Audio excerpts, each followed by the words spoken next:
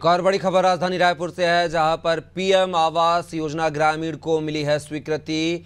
प्रधानमंत्री नरेंद्र मोदी ने आठ लाख उनचास हज़ार नौ सौ इकतीस आवास को स्वीकृति मिली है। सीएम साय ने पीएम मोदी का आभार किया व्यक्त। तो ये बड़ी खबर आपको राजधानी रायपुर से बता रहे हैं, जहाँ पर प्रधानमंत्री आवास योजना ग्रामीण को मंजूरी मिली है। आठ लाख छियालीस हज़ार नौ सौ इकतीस आवास को मिली स्वीकृति। सीएम साय ने पीएम का आभार जताया और ज़्यादा जानकारी के साथ हमारी सहयोगी पुष्पांजलि साहू हमारे साथ फ़ोन लाइन पर बनी हुई हैं। पुष्पांजलि बात की जाए तो प्रधानमंत्री आवास को लेकर लगातार जो है भूपेश बघेल सरकार में तमाम सवाल उठते रहे हैं। अब आठ लाख छियालीस हज़ार नौ सौ इकतीस आवास ग्रामीणों को मंजूर मिली। आखिर क्या कुछ जानकारी?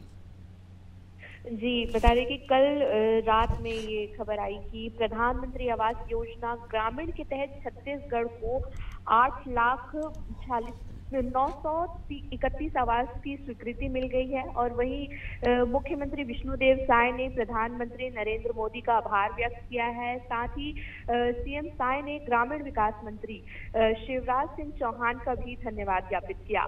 जिसमें पीएम आवास योजना के तहत लोगों को स्वीकृति मिली है और छत्तीसगढ़ के लोगों के जीवन स्तर को सुधारने के लिए ये जो स्वीकृति है वो महत्वपूर्ण भूमिका निभाएगी। वही इस योजना के तहत अपने घर का सपना लोग पूरा कर पाएँगे।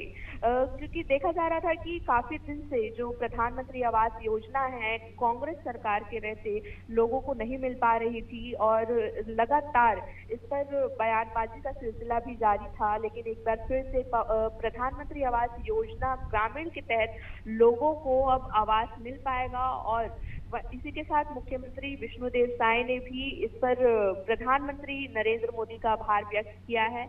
और इससे जो लोग हैं, जो आवास को लेकर परेशान हैं, जिनको काफ़ी परेशानियों का सामना करना पड़ा है, वो अब आसानी से घर प्राप्त कर सकेंगे और अपना एक जो घर का सपना है, वो साकार कर सकेंगे। चलिए पुष्पांजलि आप हमारे साथ बने रहेगा आगे भी आपसे जानकारी लेंगे।